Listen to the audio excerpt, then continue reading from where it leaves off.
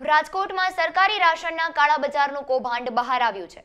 શહેરના પરસાણાનગર વિસ્તારમાં એક ગોડાઉન ઉપર પુરવઠા તંત્રએ દરોડો પાડતા ત્યાંથી આઠ હજાર છસો કિલો ઘઉં અને બાવીસ હજાર આઠસો કિલો ચોખાનો અનધિકૃત જથ્થો મળી આવ્યો હતો.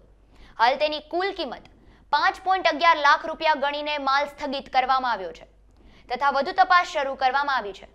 ગોડાઉન ભાડે રાખનાર મૂળ બિલખાના અલ્તાફ ગફાર ચૌહાણ નામના શખ્સ પાસે રહેલા અનાજ કોઈ આધાર પુરાવા નહોતા મળી આવ્યા. પુરવઠા તંત્રની પૂછપરછમાં તેણે કબૂલ્યું છે કે પોતે છ મહિનાથી રાજકોટ આવી પરસાણાનગરમાં ગોડાઉન રાખીને ફેરિયાઓ પાસેથી છકડો રાશન ખરીદે છે. ત્યારબાદ રાશનનો જથ્થો મિલ ધારકો સહિતનાઓને વહેંચી દેવામાં આવે છે. ત્યારે ખરા અર્થમાં પુરવઠા તંત્ર કૌભાંડના મૂળિયા સુધી પહોંચે છે કે કેમ તે જોવું અતિ મહત્વનું બની રહેશે.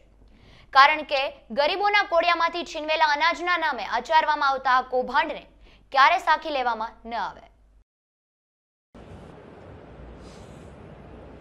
બેનને પૂછી જોઈએ. અહીં બેન છે. પેલા બાઈટ આપી દઈએ બાઈટ અચ્છા. અને ક્યાં મળતા હતા ભાઈ? મળી જ્યાંથી આપણે પકડ્યો ને કેટલો બેન જથ્થો ઝડપાયો છે?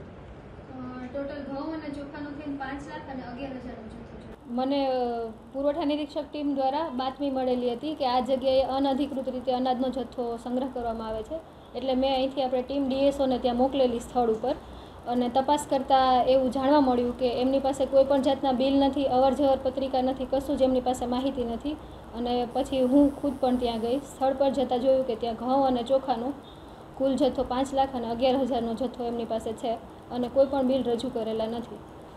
તપાસ હાથ ધરતા એવું જાણવામાં મળ્યું કે એ લોકોને અમે પૂછ્યું કે તમે આ કઈ જગ્યાએથી લાવો તો, લાવો છો?